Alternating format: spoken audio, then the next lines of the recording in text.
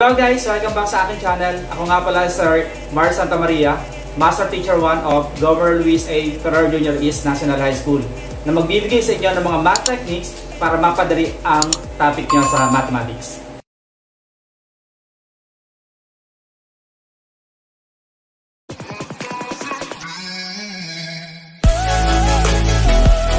Tutuloy natin ngayon yung part 2 ng factoring polynomials pero mag-focus tayo ngayon how to solve uh, problems involving factoring polynomials is under pa rin ng mathematics A, quarter number 1 and week number 1. Try natin itong example na, na nandun pa rin sa iyong uh, module para mas maunawaan nyo kung paano ba natin ito sasagutan. Sabi dito, the area of the square is numerically equal to twice its perimeter. Okay, pag pinag-usapan natin yung uh, area, ang magiging area ng square natin dito ay s squared na kung saan yung s natin ay length. Pero pag sinabi naman natin perimeter, ang perimeter naman natin ay 4f kasi nga meron tayong apat na equal uh, sides. So find the length of the side of the square. So ito yung pinaka-figure ng ating uh, square tapos ni-represent natin ngayon ang side by s. Okay? Pwede namang ano, pwede namang uh, isang s lang, yun nga lang para ipakita na ito ay square. So, apat na S yon Pero okay naman isang uh, S.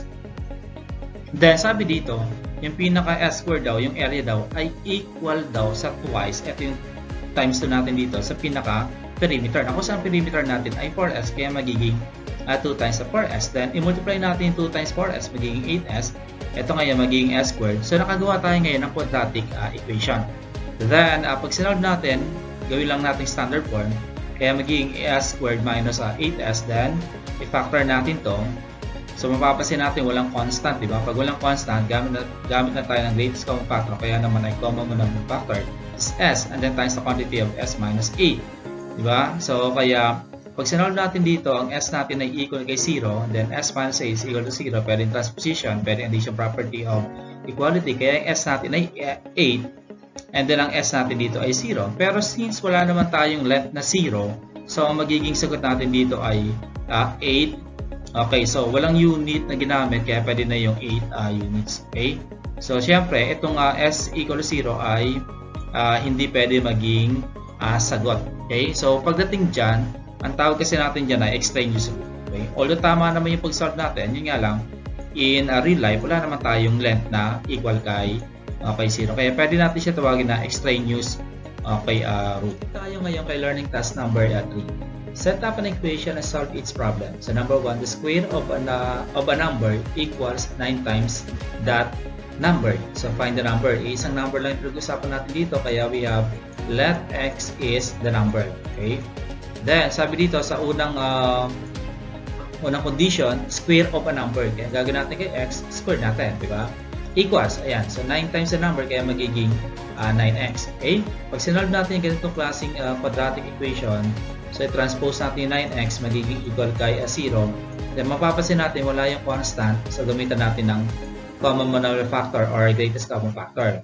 So, divide natin x squared by x, magiging x minus 9x by, by x, so magiging 9 is equal to okay, uh, 0. Then, solve natin yung uh, x. Okay, dalawa yan, 0. Then, magiging x minus 9 is equal to okay, 0. Kaya x natin dito magiging equal kay okay, sa 9. Then, dito meron 0. So, sa example natin, hindi pwede ang 0. No? Pero sa number, pwede. Diba? Kasi number naman pinag-usapan dito. Kaya, therefore, the number is eh, dalawa sagot natin. So, gagawin lang natin dyan ay 0 or 9. So, the number is 0 or magiging 9. So itong number 2 na to, similar lang kay number 1. Suppose that 4 times the square of a number, okay, so isang number pa rin pinag-usapan is equal to 20 times that number. So what is the number? So pwede uli natin represent yung uh, x by a number, pwede namang any variable. Tapos, ang gagawin natin dito sa left side ay 4 times, so magiging 4. Tapos square, kaya magiging x squared. Then is equal to 20 times the number, kaya magiging uh, 20x. Tulad na ginawa natin kanina, equate to 0. So, magiging 4x squared, lipat natin yung 20x, kaya magiging uh, minus ito, di ba? Then, pag pinactor natin, yung 4 and 20, ang greatest common factor niyan ay 4. Pagdating kay x squared tapos x, ang magiging x, okay? So, monitor natin dito sa loob ng parenthesis ay x na lang kasi x, 4x squared divided by 4x magiging x, then 20x divided by 4x magiging equal kay 5. Then, pag sinolve natin to, magiging uh, 4x equal to 0.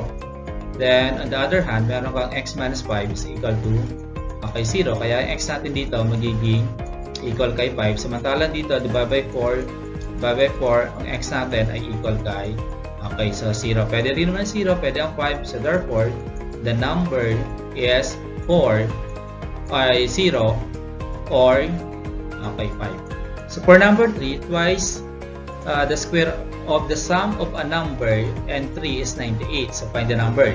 So, isang uh, variable ulit tayo dito. So, we let x the number. Okay? Tapos, ang magiging equation natin ay twice the square. So, pag sinabi natin twice, magiging times 2 the square of the sum of a number and 3. Okay? So, dito, square. So, square ng alin? Ng sum daw ng number and 3. Kaya magiging x plus 3. Then, saka pa lang natin ito squared. So, magiging equal to ngayon kay, okay, so we have uh, 98. So, nagkaroon tayo ngayon ng 2 times the quantity of x plus 3 squared is equal to 98. Ang saan? Itong both sides na to, pwede natin i-divide by uh, 2. Okay? So, ayan, makakancel ngayon ito. Makita yung x plus 3. Okay, quantity squared equals uh, 40.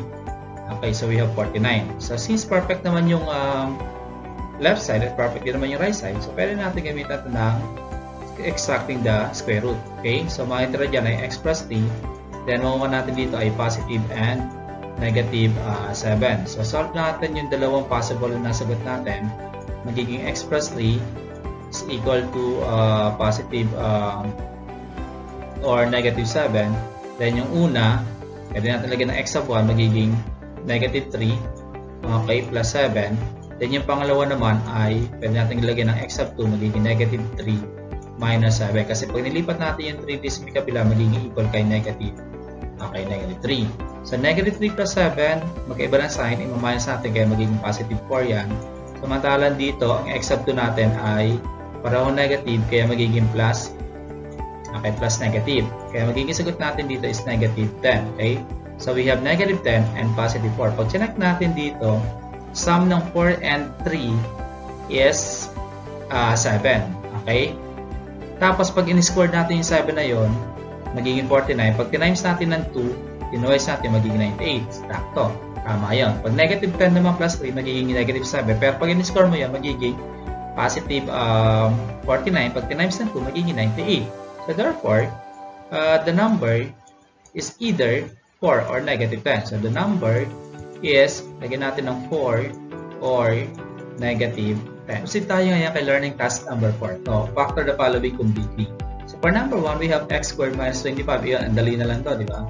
So, the difference of the two uh, square. So, magiging factor mo lang dyan, magkapareho, pero plus and minus. So, magiging square root ng 25, magiging 5, kaya 5 squared ay equal kay 25, kaya plus, uh, ito naman ay minus or pwede magkabalikan. So, we have x plus 5 times quantity of x minus. Sa number 2, uh, since ang a natin dito is not equal to 1, gagamit tayo ng tomo, uh, trial and error kasi wala naman tayong common mo na may factor. Okay?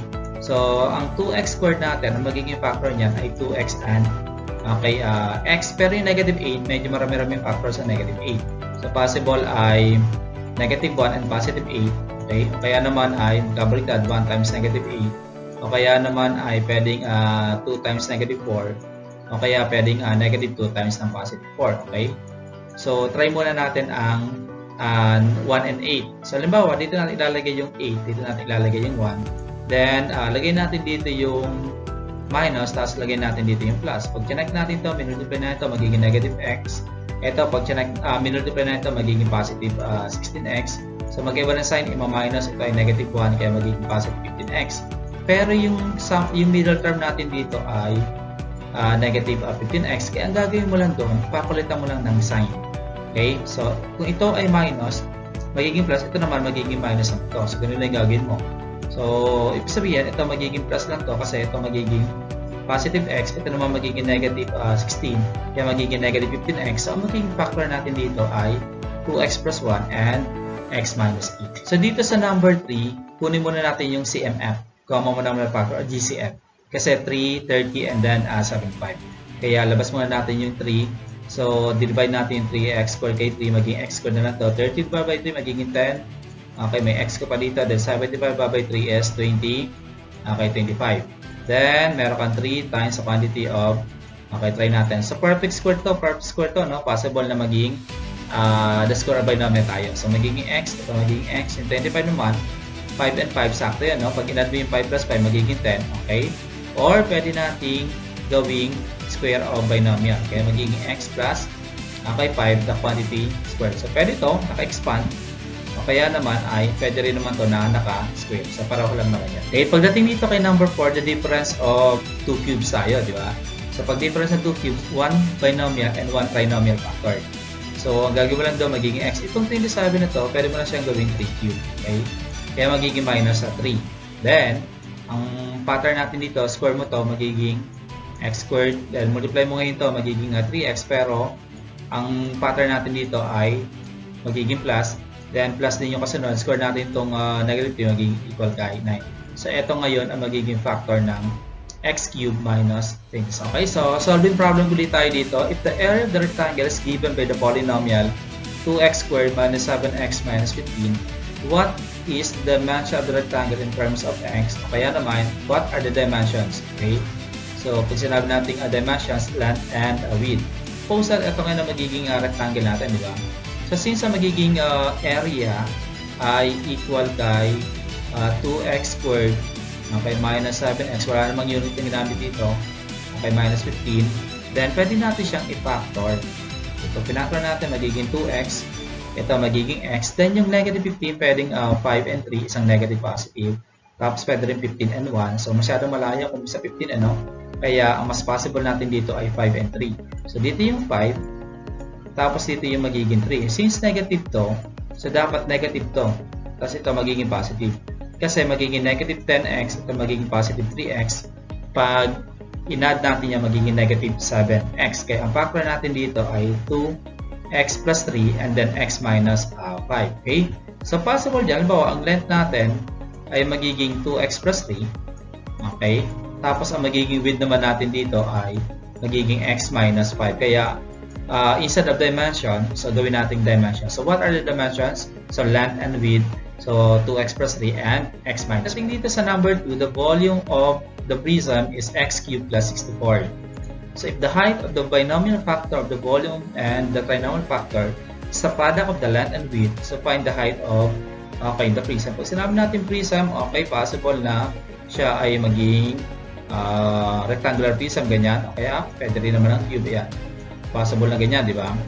So, ito yung magiging possible na magiging rectangular prism. So, oh, since ang volume natin dito ay x cubed plus 64 na different, uh, sum of uh, two cubes, na pwede natin siyang factor ng 1 binomial and 1 trinomial factor. So, magiging x, itong 64 na to ay 4 cube, kaya magiging 4. Tapos, ang factor lamang natin dito ay ang trinomial factor, square natin yung x, kaya magiging x, then minus to, multiply natin, so magiging 4x, Then square natin yung 4 magiging equal kay 16. Ang tinatanong natin dito ay find the height. Ang height daw natin dito is the binomial factor. Kaya magiging height natin ng prism ay magiging x plus 4 okay quantity unit so wala naman unit okay lang ng uh, x plus 4 okay so last number tayo kay learning task number 4 is number 3 the length of the rectangular lot okay is 6 less than thrice its width okay so illustrate natin uh, if the area is 45 square centimeter, and then, ito, may unit dito centimeter. So, what is the length, the width of, okay, the rectangle? Sabi dito, kung ang width natin ay represent mo ng W, di ba? Kaya lang yan, pwedeng X, pwedeng W para maging uh, width. Then, sabi dito, the length, ito yung length, 6 less than price. If the width, i-multiply natin ng tatlo, kaya magiging 3W, pero, ma-minus natin kasi less than, okay? So, we represented with as W. Okay? Ang W natin dito is 2 width. Tapos, ang magiging length natin dito ay in terms of W na tayo ha. In terms of width. Huwag tayong gumamit ng 2 variables. Okay? So, magiging uh, length natin ay 3W minus 6. Okay? Tapos, so since ang area natin ay length times width, area of a rectangle is equal to uh, length times width, na kung saan ang length natin dito ay uh, 3W minus 6 tapos ang width natin ay W kaya magiging W times 3W minus 6 Okay? So, equals 45 square centimeter. Ito yun. So, the area is equal to 45 square centimeter. Magiging 45 ito, di ba? Then, it, uh, distribute natin, magiging W times 3W, magiging 3W squared. Then, uh, W times negative 6, magiging minus uh, 6W. Lipat natin ngayon ang 45, magiging minus sa 45. Okay, so equal kay 0. Then, pwede naman natin siyang i-factor na kung saan, magiging kong factor natin ay 3. Okay, pwede natin siyang i-divide lahat dito by uh, 3. So, magiging uh, W squared, okay, minus 3, 6W divided by 3 is 2W. Then, 45 divided by 3 magiging uh, 15 equals 0 para mas madali tayo mag-factor, di? Instead na gawin natin yung 3W uh, squared. Tapos, uh, magiging W, tapos dito ay W. Itong negative 15, ang magiging uh, factors natin dito, 1 negative and 1 okay, positive. So, pag minus natin yung 5 and 3, magiging 2, kaya 5 and 3 gagamitin natin. So, since ang middle term natin is negative 2, so negative ang 5, positive ang okay, 3. Then, kaya itong W minus 5 equal 0, tapos itong W plus 3 Okay, so equal kay uh, 0. Kaya ang W natin ay equal kay 5. Tapos, W natin dito sa kabila ay equal kay negative 3. Hindi pwede, di ba? So, ang tawag natin, ulit natin dito, extraneous root. Kaya ang W natin dito ay magiging equal kay uh, 5 cm. So, length is equal to 5 cm. Then, ang magiging uh, uh, width is equal to 5 cm. Ang length natin ay 3 times 5, 15. 15 minus uh, 6 magiging equal to 9 okay, centimeter. So, pag tinarms natin ang 5 times uh, 9, makuha natin yung 45 square centimeter. Guys, tapos natin yung uh, learning task number 3 and 4. Yung learning task number 5, susunod lang natin kasi uh, baka sumobrang haba na uli yung ating video. So, so bye-bye and see you sa learning task number 5.